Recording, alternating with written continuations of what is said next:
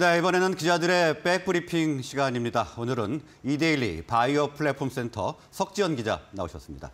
어서 오십시오. 네, 안녕하세요. 네, 안녕하십니까.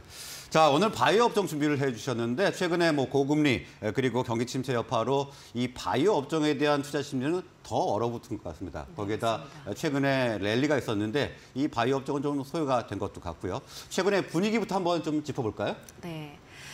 먼저 이제 투심 악화로 바이오 기업에 대한 저평가 기조가 한창입니다. 실제 국내 벤처 캐피탈의 바이오 투자 흐름을 보면요. 2021년 1조 6,800억 원에서 지난해 1조 1,100억 원으로 1년 사이에 34%나 줄었습니다. 네. 이런 흐름은 한국뿐 아니라 전 세계가 다 비슷합니다. 미국의 경우 바이오 벤처에 대한 투자금이 23% 줄었고 유럽에서는 54% 줄었습니다. 자금 조달에 어려움을 겪다 보니까 당장 매출 수익원을 낼 만한 이제 사업 모델이 없는 biotech들은 속절없이 폐업 위기에 직면했는데요. 실제로 매물로 나온 biotech들이 상당한 상황입니다. 네. 문제는 이렇게 급매로 나온 biotech들은 기업 가치, 즉 valuation이 상당히 낮아졌다는 겁니다. 뭐 그렇다 아무래도 그렇겠죠. 안 좋은 상황에서 매물이 나오면 아무래도 가격을 좀 깎으려는 뭐 행동들이 약간 나오니까요. 금매 이런 성격으로요. 네. 네. 그렇다 보니까 당초 높은 밸류에 투자를 했던 기관 투자자들 손실이 적지 않은 상황인데요. 매도가보다 최대 7배 높은 밸류에 투자한 곳도 있어서 이 기관 투자자들은 장부상 손실을 피하지 못하는 상황입니다. 뭐 어, 기관 투자자들은 뭐 울상을 질 것 같은데 자 그럼 실제로 어떤 매물이 나왔고 또 어떤 매물들이 어, 인수가 됐는지 사례를 좀 살펴볼까요? 네, 최근 M&A 사례로는 DXVX가 에빅스젠이라는 biotech을 인수한 것을 들 수 있습니다. 예. DXVX는 코스닥 상장사로 백신이랑 microbiome을 이제 개발하는 신약 개발 회사인데요. 옛날엔 캔서롭이라는 이름으로 거래가 되기도 했었습니다. 네. 에빅스젠이라는 회사는 황반변성 치료제를 개발하는 곳인데요. 비상장사고 한때 몸값이 1,800억 원에 달했습니다. 이 황반변성 치료제면은 안과 질환인가요? 예, 맞습니다. 네. 네. 네 그런데 DXVX가 인수한 가격은 value는 241억 원입니다. 네. 그러니까 단순 계산해 보면 valuation이 7분의 1 토막 난 뭐 겁니다. 거의 10분의 1에 가까운 수치군요. 예.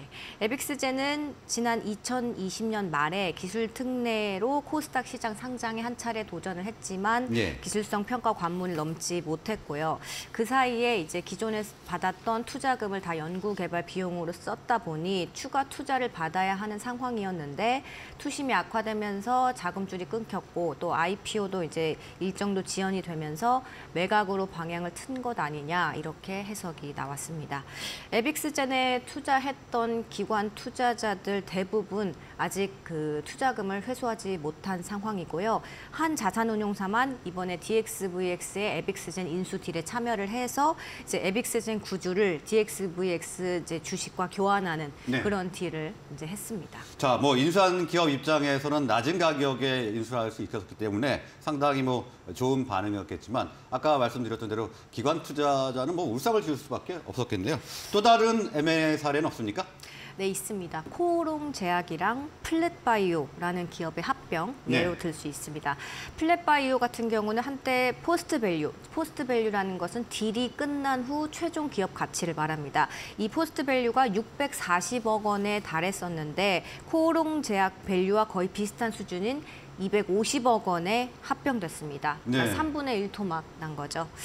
또 유한양행이 최근에 인수 계약을 발표한 프로젠 이라는 기업도 한때 기업 가치가 1,500억 원에 달했다. 이렇게 제가 취재를 했었는데요. 네. 시리즈 B를 투자할 때까지만 해도.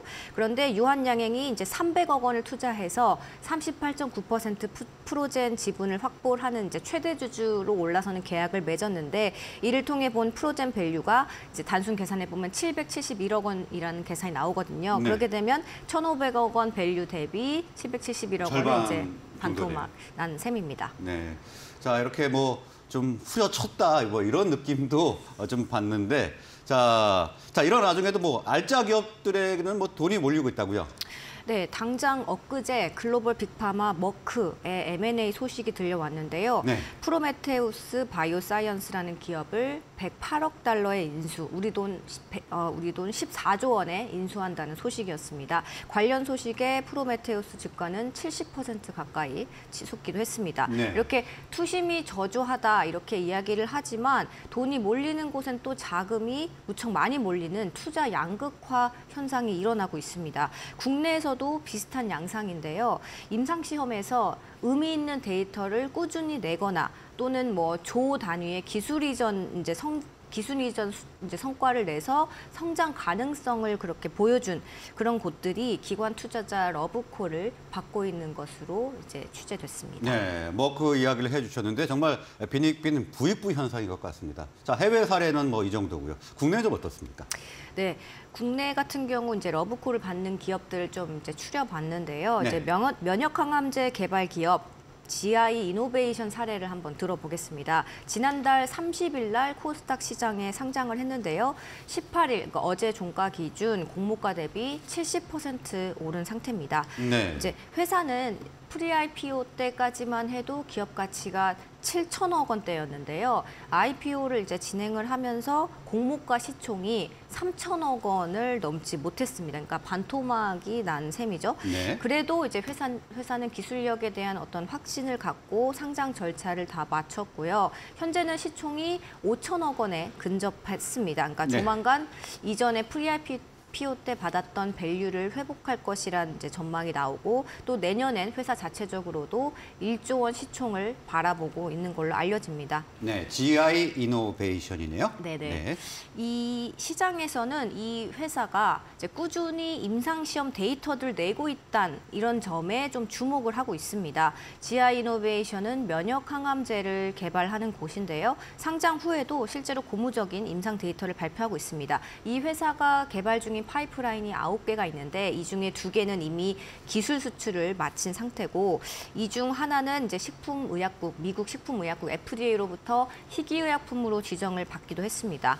또 알레르기 치료제 후보 물질 GI301 같은 경우는 경쟁 약물인 졸레어보다 훨씬 높은 효능을 나타냈다. 안전성과 효능 측면에서 더 높았다. 이런 결과를 발표해서 주목을 받았습니다. 또 최근에 발표한 임상 1상, 2상 시험 결과에서 면역 항암제 파이프라인 GI101을 환자한테 투여를 했더니 이제 암이 완전히 사라진 상태인 완전 관해가 한 건 나왔고 또 부분적으로 사라진 어, 부분 관해가 한 건이 이제 각각씩 나왔습니다. 그런데 이 환자 들은 이제 기존 표준 치료에 모두 실패한 시- 말기 고형암 환자들을 대상으로 이제 진행한 임상 시험이다. 이런 점에서 이런 이제 완전 관해와 부분 관해 결과는 상당히 고무적이다. 이런 평가가 의료진들 사이에서 나왔다고 합니다. 네. 자, GI 이노베이션은 아무래도 공모 당시에는 주목을 받지 못하다가 공모 이후에 조금 주목을 받은 그런 사례가 될 수 있을 것 같은데요. 자, GI 이노베이션 말고 다른 상장 준비하는 회사는 없습니까? 아, 네, 있습니다. 네. 네. 오스코텍의 미국 자회사 제노스코가 이제 코스닥 시장 상장을 준비를 하고 있는데요. 이제 이런 투자 한파 속에서도 아, 미국의 자회사인데 우리 코스닥에 지금 상장 준비하는 네, 거군요. 맞습니다. 네. 네, 투자 한파 속에서도 100억 원대 시리즈 B 펀딩을 진행하고 있어서 좀 시장에서 인기를 끌고 있습니다. 이제 pre-value라고 해서 그 투자를 받기 전에 그런 기업 가치를 말하는 pre-value가 지금 2천억 원대로 추산이 되는데요. 네. 최근과 같은 상황을 고려하면 상당히 높은 가격이라고 볼 수 있겠습니다. 제노스코 같은 경우는 블록버스터 의약품으로 의약품 기대주로 성장한 레이저티닙을 최초로 개발한 곳입니다. 레이저티닙은 어, 한 번쯤 들어보셨을 수도 있는데 레이저티닙이요. 네, 폐암 치료제고요. 네. 이제 우리나라에서는 렉라자라는 이름으로 유한양행이 국내에서 이제 2차 비소세포 폐암 치료제로 처방이 지금 되고 있는 상황입니다. 렉라자는 많이 들어본 것 같습니다. 어, 네네. 네. 제노스코는 2015년에 유한양행에다가 계약금 10억 원을 받고 이 레이저티닙 이제 렉라자를 기술 이전을 했고 유한양행은 2018년 11월에 얀센에 1조 4천억 원 규모로 이 레이저티닙을 기술 수출했습니다. 네.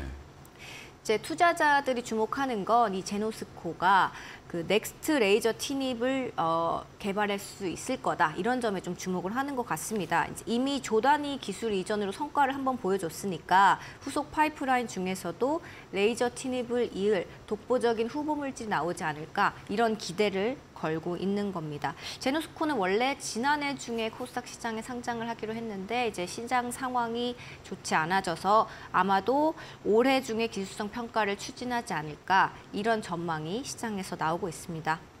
네, 네. 제노스코는 일단 기술력과 실적이 좀 뛰어난 뭐 그런 기업으로 평가를 받는 것 같은데 네네. 일단 코스닥 지금 IPO를 노리고 있습니다. 말씀 계속 이어가시죠. 네네. 또 다른 기업으로는 휴이노가 있습니다. 올해 말이나 내년 초에 코스닥 시장에 상장할 예정인데요. 지금은 기술성 평가를 받고 있고 아마 결과는 두 달 뒤쯤 받아볼 전망입니다.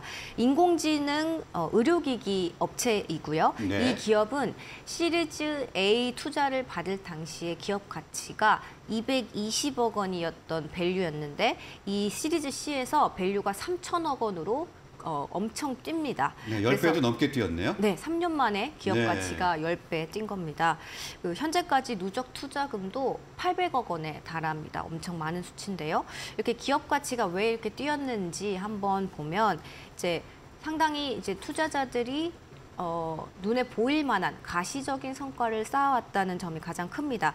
휴이노는 패치형으로 된 심전도 기기인 메모 패치를 개발했는데요. 네. 이제 의료기관에서 심전도를 특, 측정하거나 또 부정맥 환자들이 이제 일상에서 사용할 수 있는 에어팟 크기의 어떤 케이스인 의료기기라고 생각하시면 됩니다. 몸에 붙이면 최대 2주 동안 심전도를 모니, 머니, 모니터링 해주고 이 데이터를 인공지능 기술로 이제 분석도 해주는 겁니다.